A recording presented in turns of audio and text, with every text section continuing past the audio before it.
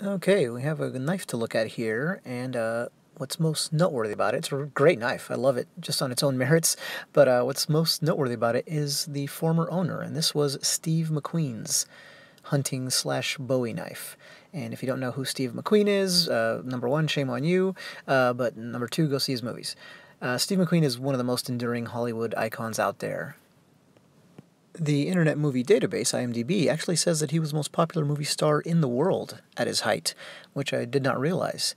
Uh, the other main thing about him, you know, he was a leading man, 60s, 70s, action movie kind of guy, uh, Charles Bronson, Clint Eastwood, that kind of thing. But what really sets him apart is he has this enduring, kind of cool, hip factor. Just one of those celebrities where that doesn't fade at all. in fact, at one point, his uh, his nickname was the King of Cool. Now, we could classify this as a sheath knife, because any knife that has to be held in a sheath so that you don't cut yourself is a sheath knife. But what it really is, is a Bowie knife. And that's a complicated subject that we're not going to try to solve here, not for a second, all right? So, for you knife experts out there, uh, you know, we can do that elsewhere. The bottom line here is that, you know, any kind of really large American hunting knife, you know, about this size, big, broad, with that clipped point is going to be called a Bowie knife. And this is a beautiful one, I think. I love Bowie knives. It's the quintessential American weapon, you know, leaving guns aside, certainly, and it absolutely dominates uh, American knife making. And yes, I pronounce it Bowie, not Bowie. Uh, either is acceptable, and there's no definitive version of what it should be, which is real indicative of the history of these knives in general. Tons of controversy, shrouded in mystery, and that's just the way it is, which probably part of what makes them interesting. So let's take a look at this one in particular. Starting from left to right, you can see the brass pommel, right? The pommel's there at the very end. And you can't quite tell from here, but it's asymmetrical, which I thought was a nice touch. You'll see that later. Then it's got a wasted grip, right? It kind of slims down and then expands back up. And then there's a brass guard, which obviously matches the pommel. And then there's the blade, which is the classic Bowie outline.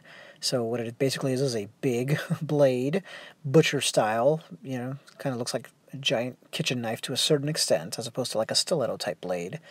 Uh, and it has that clipped point. If you don't know what a clipped point is, look at the upper right of this blade, and now you do.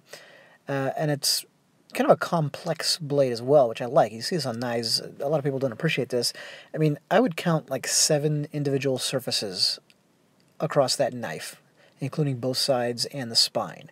You see the contours there and how, you know, the cutting edge is kind of a, a distinct plane as opposed to the clip point. And look at the clip point. It's not a simple matter of like, it wasn't just like a bite was taken out of it by a machine. Do you know what I mean? It has its own kind of miniature surface on there with another one on the corresponding side, which we'll see later, to form an edge on that side as well. See, that's why the light plays off of it in so many different ways, uh, even just looking at it from this one view. And even from this distance, you can see that this thing was used uh, you know, did not just sit on a shelf or it scabbard. So I don't know if he used it for hunting or what, or just messing around.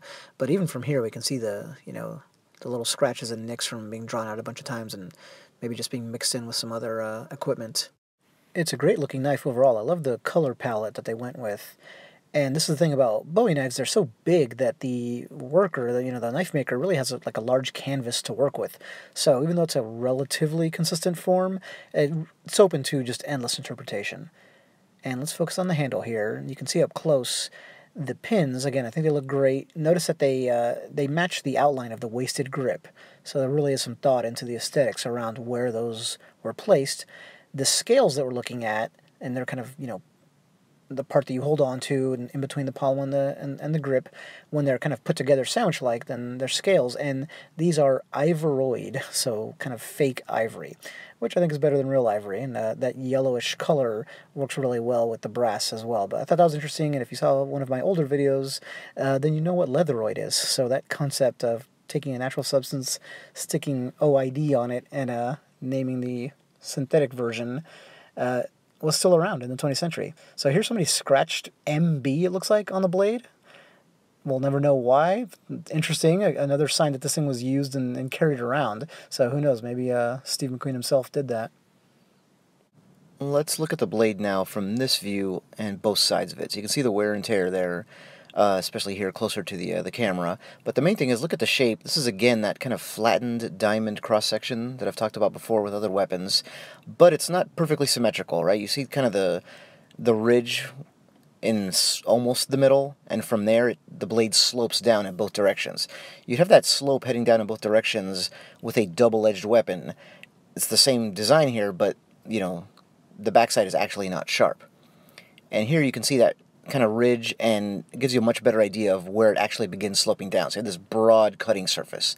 And then the part above that, so on the right side of that, that dividing line, that's really providing strength.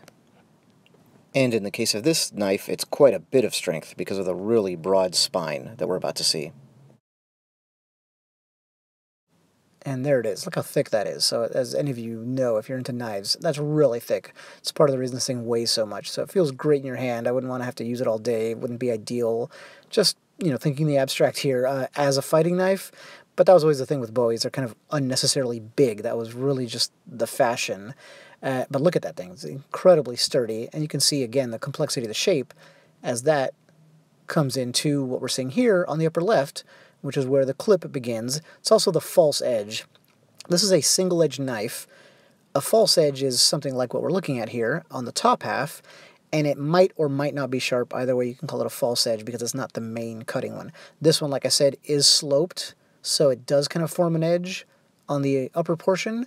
In theory, that would make, you know, a backward slash kind of possible that's maybe a little bit more myth than reality. I, I, don't know. I'm not a knife fighting expert, but it would, in theory, a little more solid ground, increase efficiency during a thrust.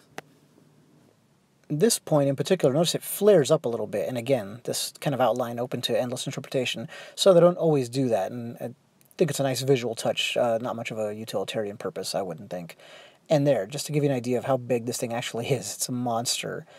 Uh, that and the scabbard, you know, just kind of held it up on my on my hip, uh, and you'd know that you were wearing this for sure. It almost feel like a like a bolo knife or a, a small machete or something. The other thing you can see from this view is where the clip begins, you know, the clipped point. You can see when it begins descending, and that's totally up to the maker. There's no hard and fast rule at all about that. So he put it pretty far up the blade on this one. It starts early. And that is it for this guy. So not only was Steve McQueen a, a kind of a blue chip Hollywood legend, but he had good taste in knives as well. Thanks.